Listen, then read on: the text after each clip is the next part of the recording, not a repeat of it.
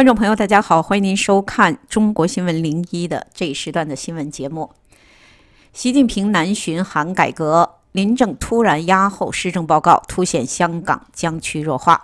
据苹果日报报道，中国国家主席习近平已经南下出席深圳经济特区成立四十周年的庆祝活动。广东深圳盐镇一带特警驻守街上，多地临时禁止使用无人机。中央昨天也先向。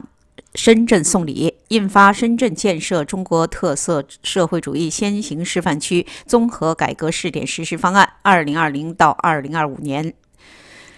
给予深圳更多的改革自主权，为习近平南下造势。时事评论员吴强认为，深圳作为中国最后一个改革开放的增长点，中央在目前的经济不明朗形势下，对其寄予厚望。预料深圳和改革开放都会是“十四五”规划的重点。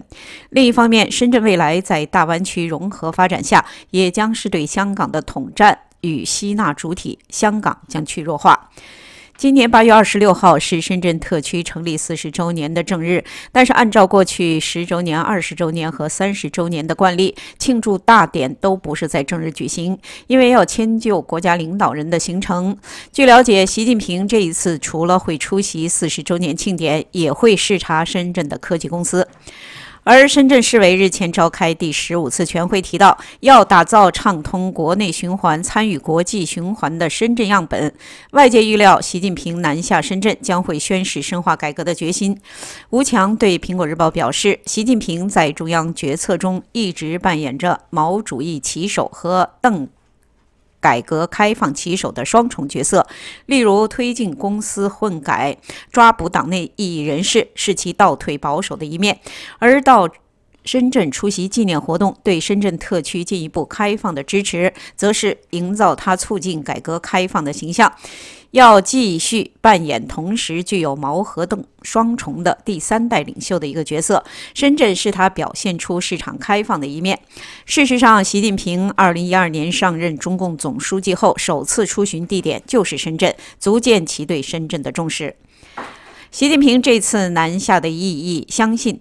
是他一次重要南巡，类似当年邓小平南巡的活动，并试图在历史上留下印记。中央昨天发布《深圳建设中国特色社会主义先行示范区综合改革试点实施方案》，重点提及要发展金融，放宽市场准入。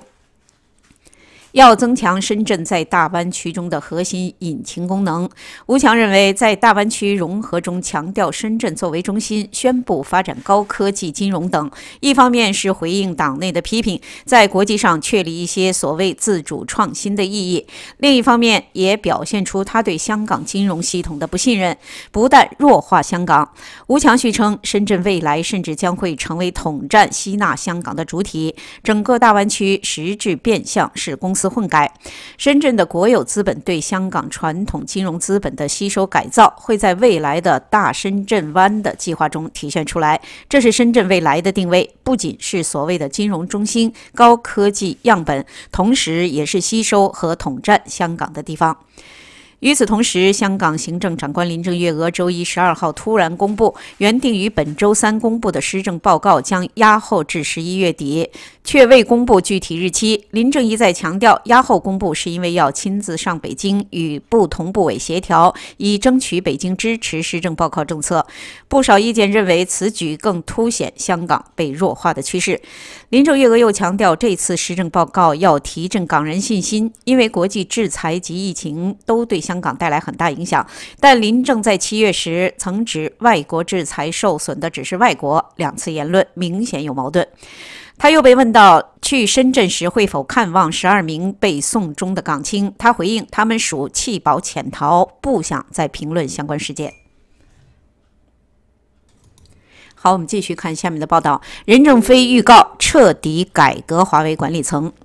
华为创办人、总裁任正非日前表示，华为管理机制的落后正在抑制自己的进步。华为要向美国、俄罗斯等国家学习，尊重专家，否则就无法正确地发挥出科学家、专家人才的价值。未来，华为要逐步改革，由专家来当家，不是谁官大谁拍板。同时，任正非表示，面对美国的状况，公司一要自强，二要开放。华为内部信息平台发布新生社区，周六十号。刊发任正非在公司内部的电邮内容，他提到华为要实现多元化管理，避免 AT 行政管理团队权力过于垄断，要赋予专家委员会一定人事权，给予专家合理评价和有效激励。他解读，专家要或赋予专业决策权，类似总会计师对能否入账等事做出最终决策那样，从部门首长那里分权。任正非举例。比如，对专家简单的以岗定级、以产品规模定岗的机制要废除；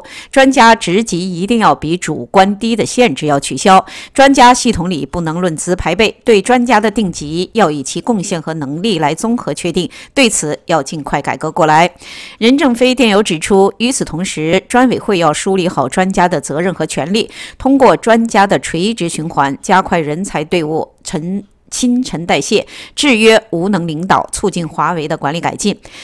任正非认为，对于华为大力引进、招聘天才少年、外来专家，应有适当的辅导、合理的评价和耐心等待，不能用一刀切的考核方式来考核他们。一旦做出突出成绩，可以尽快提到目标职级。任正非还谈到了华为应对美国的情况，最终还是我们自身要做好：第一，要自强；第二，要开放。自强了就敢开放。在他看来，专家埋头干就是自耕农。世界是开放的，国内专家要加强自己洋化，多上网，多读文献，更努力学习西方先进思想。要做蓄电池，不停充电，然后也要做灯塔，燃烧自己，照亮别人。新华社高管于少良任上海市委副书记。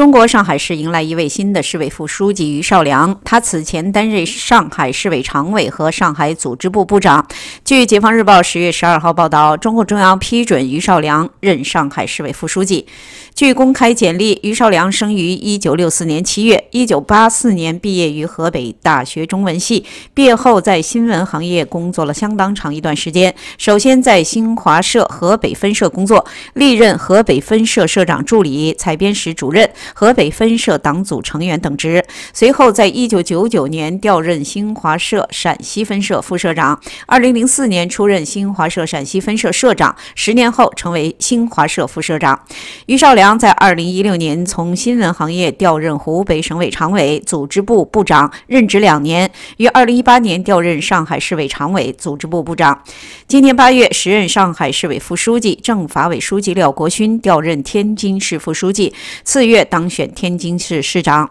于少良此次履新，填补了廖国新的空缺。好，接下来我们看下面的报道：中国亿万富豪人数居世界第二。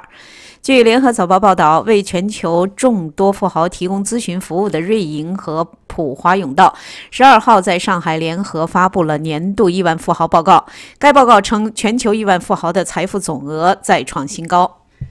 截至今年七月底，亚太地区以八百三十一人成为全球亿万富豪人数，拥有资产超过十亿美元最多的地区，其中一半来自中国。中国拥有全球第二大亿万富豪群体。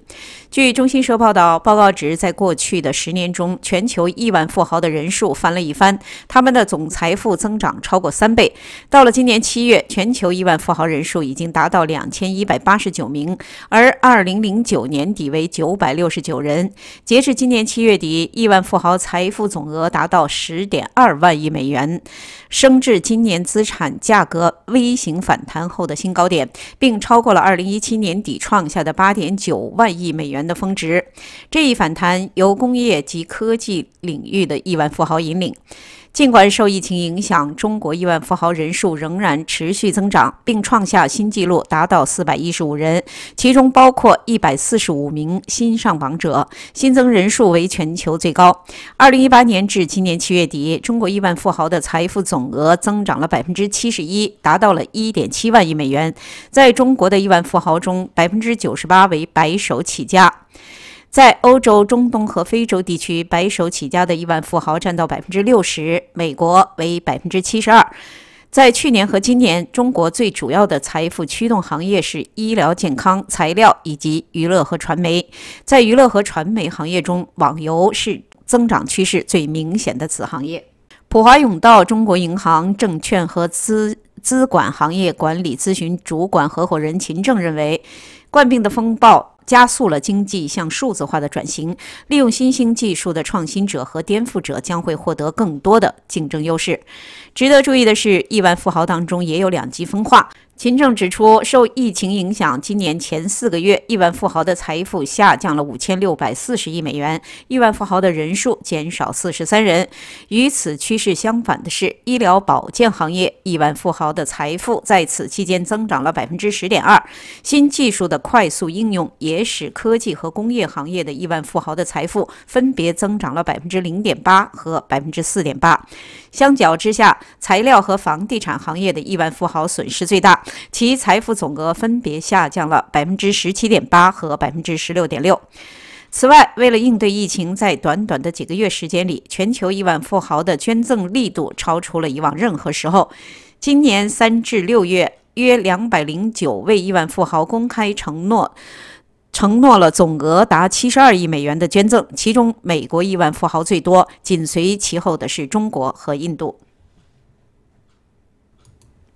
好，我们继续看下面的报道。中国开办第一所芯片大学，与华为、中兴合作。据联合早报报道，南京将成立一所专门培养芯片人才的高校——南京集成电路大学。这也将是中国第一所专门培养芯片人才的高校。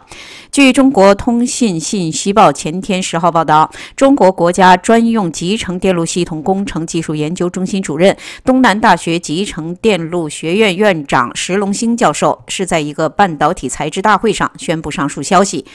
报道称，这所大学的所有学科将围绕集成电路技术而设计，还接入华为、海思、中芯国际等许多企业，把理论与实践结合为一体。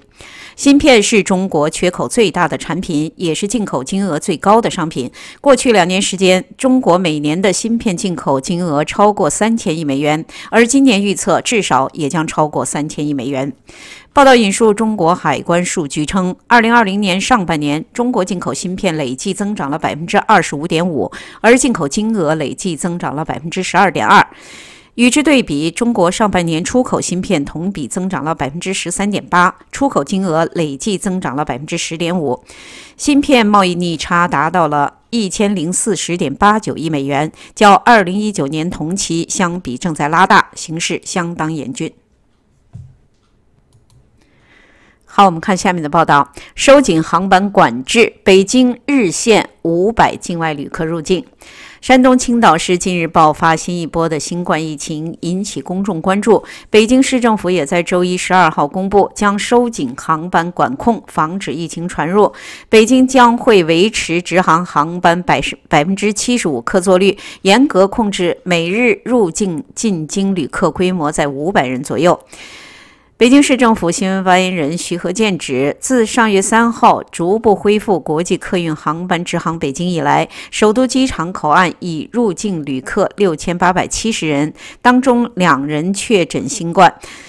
徐指出，鉴于当前境外疫情严峻，北京也有零星境外输入病例，因此务必加强航班管控，防止疫情反弹。在远端防控方面，北京将继续实施健康筛查，严禁未持有核酸检验证明、体温检测超过标准旅客登机。在中转入境方面，直航北京的国际航班旅客应为。通航国家和地区的公民，以及在该地的中国公民，在口岸查控方面，所有入境旅客将会封闭运送至隔离点，并接受强制十四天集中医学观察和核酸检测。